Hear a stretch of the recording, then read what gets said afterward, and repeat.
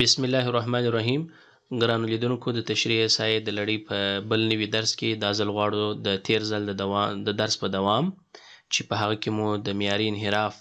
د غیر متمادي ډاټا د مثال یو جز حل کړ، دا ځل د غیر متمادي ډاټا یو بل جز پاتې دی او همدارنګه په د دې په دوام به په متمادي ډاټا کې هم وکولای شو موږ معیاري انحراف راوباسو. نو موږ که چیرې یو مثال ولرو تاسې کولای شئ هره ډاټا د هغه څخه راواخلئ تعبیر یې کړئ ورته فرض که موږ د دې لپاره چې په تخنیک باندې ځان پوه کړو موږ ابزرویشن لرو فرض که څلور پنځه، څلور،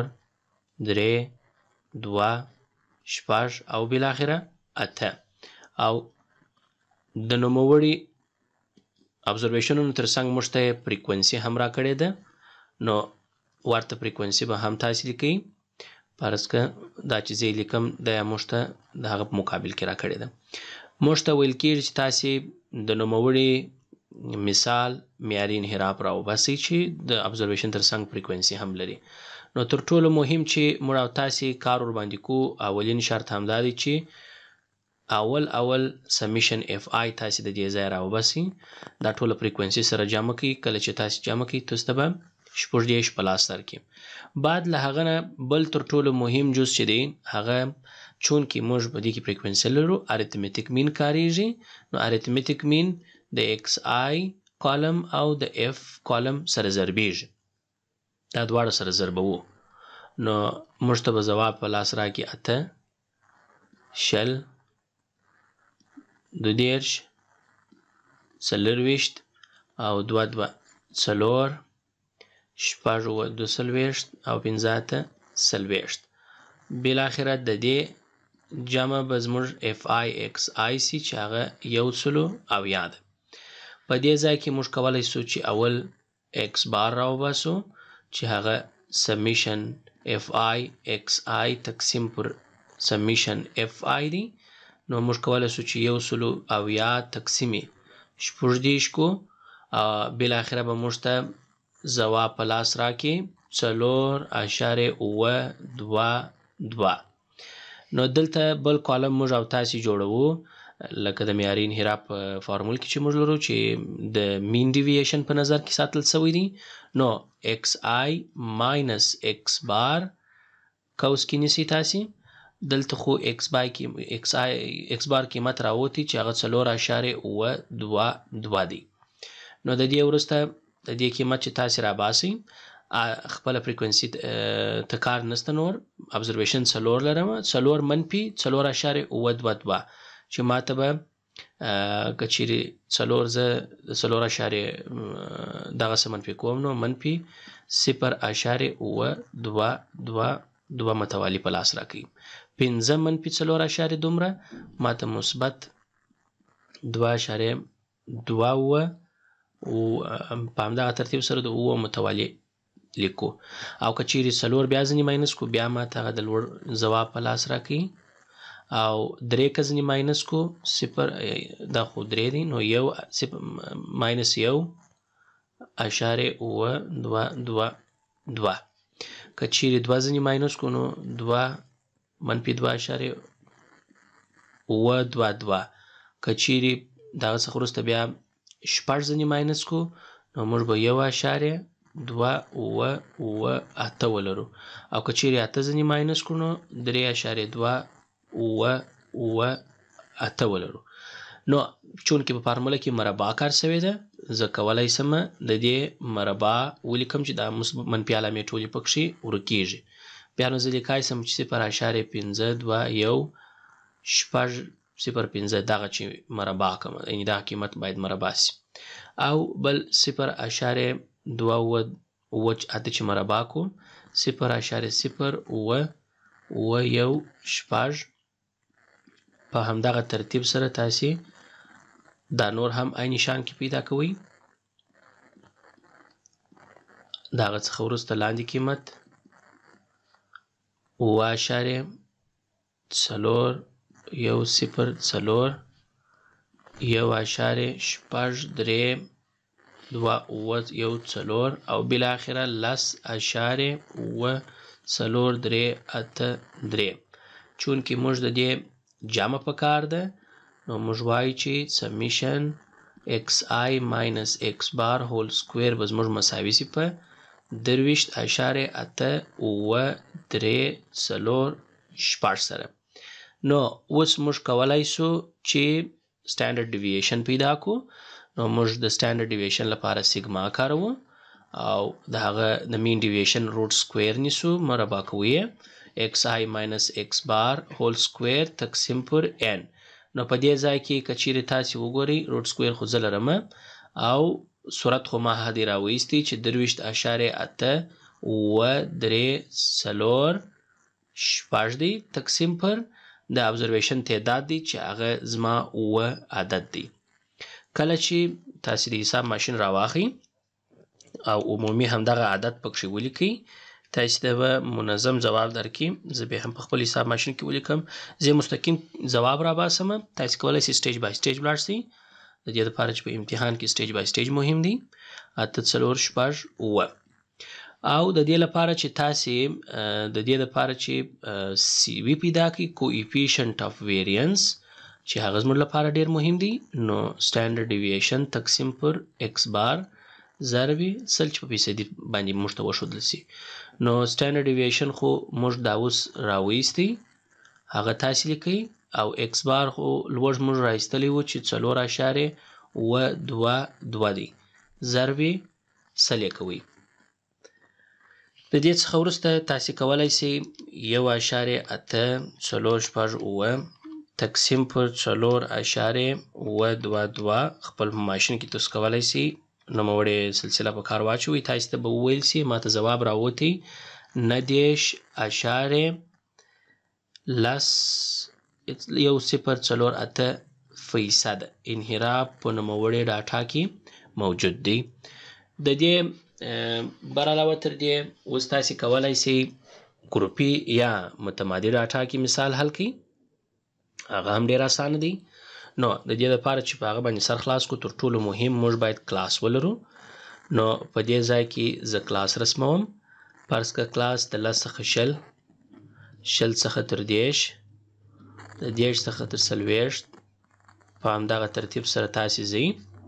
او تر اووه خانچو پورې ځئ پنځه ستر شپېته او بالاخره د شپېته څخه تر اویا پورې او د اویا څخه تر اتیا پورې چې ماته اووه کلاسه په لاس رالله د دې تر څنګ فریکوینسي هم راکوي ماته چې هغه څلور اووه پنځه زه یو مثال راخلم تاسو کولی شئ هر ډول مثال ورباندې حل کړئ فقط د ډاټا تغیر را باسئ د دې څخه وروسته تاسو نوموړی مثال حلوي اول تر ټولو مهم سمیشن اف آی دی د دې ټولو جامه را باسي تاسو کله چې دا فریکونسي تاسو جامه کوي یو سلويش په لاس تر کوي د دې څخه ورسته اوس تاسو باید میډ کلاس د کلاس میډ پوینټ راو باسي چې هغه زه ایکس آی سره شیم چې لاس جمع شل تقسیم دوه دی چی پنځلس راوځی ماته او د ټولو کلاس هایټ لس دی نو لس د پردی اچوم په دغه تسلسل باندی تر پای پوری ځم تر څو زما کلاس میډ پوینټ د هر کلاس لپاره بالاخره راووځی. وروسته تر دې تاسې یو بل څه هم کولای سي هغه چونکې مین تر اوسه نه دی راوتلی او چونکې په انهرا... معیاري انحراف کې مین ته ضرورت سته نو د اوسط راایستلو لپاره زه مجبور یم د اف او ایکس آی برخه سره ضرب کړم څلور په پنځلس کې چې کله تاسې ضرب کړئ شپېته اووه چې په پنځه ویشت کې ضرب کړي یو سلو پنځه اویا په همدغه ترتیب سره پنځه چې په پنځه ویشت ضرب کړي هم یو سلو پنځه اویا او اته چې په درې سوه په پنځه څلوېښت کې ضرب کړي دی درې سوه شپېته او په دغه ترتیب سره زه ځوابونه لیکم تاسو کولی شئ ساده د ماشین څخه کار کولی شئ واخلئ کله چې دا ټوله تاسې جمع کوي دا ستاسې سمیشن اف آی ایکس آی راوځي چې نولس سوه پنځه څلوېښت یې ماته په ځواب کې راایستلی دی نو د دې لپاره چې زه وکولای سم ایکس بار راوباسم نو زه لیکم چې سمیشن اف آی ایکس آی تقسیم پر سمیشن اف آی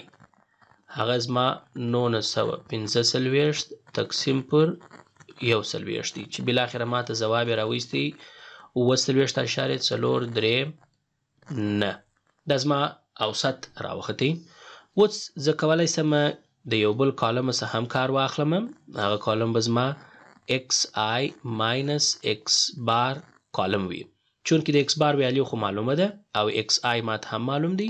نو پنځلس منفي اووه څلوېښت اعشاریه څلور درې نه به ماته ځواب په لاس راکړي هغه به منفي دوه دېرش اعشاریه څلور درې نه اوسي او همدارنګه په ترتیب سره دا بل که چیرې مثلا موږ کار ځنې واخلو او بل حل کو نو هغه به تاسو ته منفي دوه ویشت اعشاریه څلور درې نه په دغه ترتیب سره زی پنځل پنځه دیرش منفي اووه څلوېښت اعشاریه نه دیرش تاسو ته به منفي دولس اعشاریه څلور درې نه منفي دوه اعشاریه څلور درې نه اووه اعشاریه پنځه شپږ صفر نه اوولس دا اوولس دی اعشاریه پنځه شپږ صفر نه او بالاخره اوویشت اعشاریه پنځه شپږ صفر نه د دې څخه وروسته یو بل کالم چې هغه زموږ مربع ده ځکه زموږ کار د مربع سره دی نو اوس زه کولای سم هغه په لاس راوړم کله چې دا توس مربع کوي منفي علامې له منځه ورو کېږي یو سلو یو زرو دوه پنځوس اشارې نویشت پنځه سوه درې اشارې پنځوس اته نوي یو سلو څلور پنځوس اشارې اووه دوه نه درې پنځه اشارې نه څلور اته اته اووه پنځوس دا اووه پنځوس دی اشاره یو شپږ اته درې درې سوه اته اشاره درې اته اووه نه او بل آخر آخري کې ما چې راباسي اووه سوه نه پنځوس اشاره شپږ صفر اووه څلور کله چې دا تاسو جمع کوئ نو تاسو ته به سمیشن ایکس آی ماینس ایکس بار هول سکویر په لاس درکړي چې زموږ د معیاري انحراف د فارمولې تر جذر لاندې د صورت برخه تشکیلوي چې دوه اته څلور یو اشاریه شپږ څلور دوه تشکیلوي اوس نو د دې وروسته که چیرې تاسې وکولای سئ معیاري انحراف راوباسئ اسانه توګه سره کولای سئ نو د دې دپاره تاسې راځئ اول فارمولا لیکئ فارمولا زموږ او ستاسو د سیګما مساوي کیږي روټ سکوير سمیشن ایکس آی ماینس ایکس بار هول سکوير دی او دا ټوله تقسیم کیږي پر ان باندې ان په دې ځای کې بیت زموږ او ستاسو فریکوئنسي ده چې کولای سي په سمیشن اف آی سره وشوي مشکل نشته نو که چیرې دا راولاړ سو جذر ولیکو صورت موږ راویستی دوه اته څلور یو اشارې شپږ څلور دوه تقسیم پر یو څلوېښت چې زموږ او ستاسې فریکونسي ده بالاخره که چیری تاسی وکولای سی دا ماشین کی دا قیمت ولیکی دوه اته څلور یو اعشاریه شپږ څلور دوه تقسیم پر یو څلوېښت تاسی کولای سی مرحله پر مرحله ولاړ سی فقط د احصایه یا د الجبر د سمپلیفیکیشن پروسیس ته کار اخلی نو دا زموږ او ستاسی لپاره معیاری انحراف راووتی مګر د دی لپاره چی موږ او تاسی سی وی راوباسو نو موږ به سیګما تقسیم پر ایکس بار ضرب سل ولرو چې هغه به اته اعشاریه درې دوه پنځه یو شپږ تقسیم پر اووه څلوېښت اعشاریه څلور درې نه چې زما اوسط دی ضرب سل کوو وروسته تر هغه دا هم کولی شئ تاسې په خپل ماشین کې در سره ولیکئ درې دوه پنځه یو شپږ تقسیم پر اووه څلوېښت اشارې څلور درې نه او دا ټوله به ضرب کړئ تاسې په سلو کې چې تر څو تاسې ته سلنه ښکاره کړي نو ماته چې په ماشین کې ځواب را ایستلی دی هغه اوولس اشارې پنځه څلور نه فیصده انحراف زما د ډاټا ضریب راشی او خپل معیاری انحراف اته اعشاریه درې دوه پنځه یو شپږ دی په دی تخنیک سره موږ کولای سو هر ډول مثال چی موږ ته راکړی وی کمپیریسن هم په کار واچو یعنی یو در بل سره پرتله کولای سو په هر چا کی چی د سی وی کچه لوړه راختله په نو موږ ویلای سو چی په هغه کی د ډاټا انحراف ډیر دی یا په بل ژبه د فایننس کی هم کارولای سی تاسی برلاوتر احصایه چی په هغه کی ریسک ډیر دی که چیرې د سیویب سلنه تر بل چور سره پرتله کیږي تر هغه ډیره راوختله.